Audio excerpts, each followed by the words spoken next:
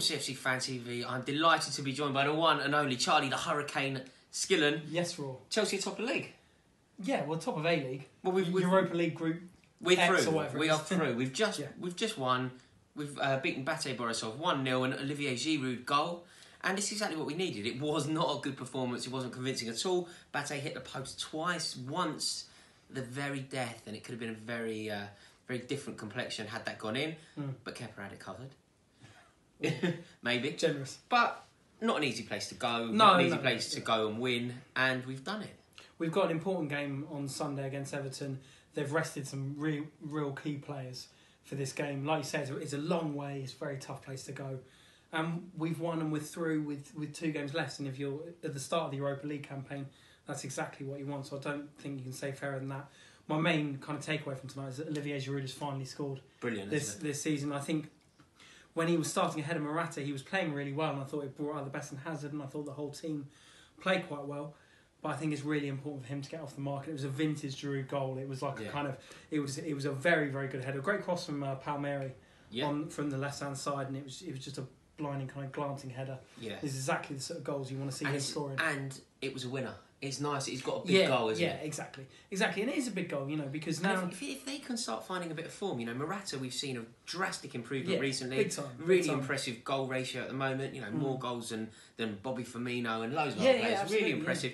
If Olivier Giroud can now weigh in with his fair share of goals, we become a very, very daunting proposition for Well- other opposition, don't we? What we do, I mean, you think this this time like six weeks ago, we were saying the whole team looks really good, but the strikers aren't scoring, Yeah, and and now the strikers are scoring, and you hope that Giroud, when he gets a chance, when he comes on, you know, I, I think for the foreseeable future, given his form in the last sort of four or five games, I think Morata's going to be starting in the league games, yeah. which obviously wasn't the case maybe six weeks ago.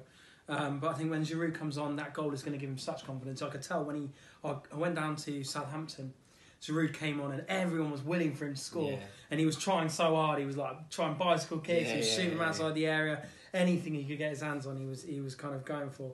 Um, so I think it's great to see him get off the mark, and I think more importantly, just brilliant to be through. The the, the, the other two games, who have we got? The, the Greeks at home, And, then, I you're am, off to I am off to Budapest. flying off to Budapest for the second time in like a few weeks, which is mad. But um, I'm flying off to Budapest just before Christmas, which is going to be so cold. It would be brilliant. it's going to be so brilliant. cold. No, no, Christmas I'm- markets, Chelsea playing. Yeah, no, no, I'm looking forward to it. But the good thing is we can we can really use those games as rest now.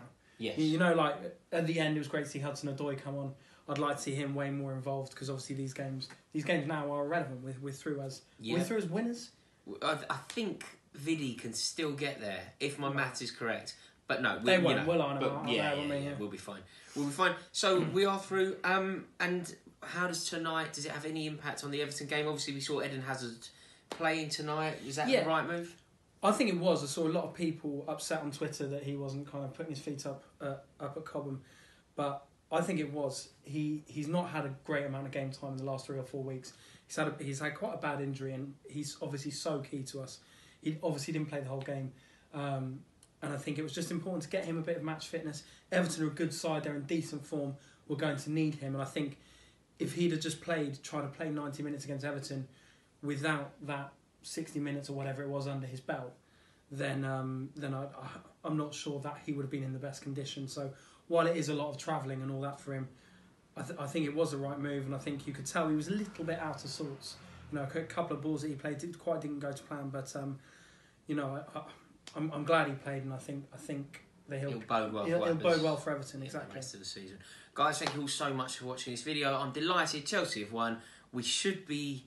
We are well. We are through. We should be top, and we'll see you on the next video. Go on, you Blues.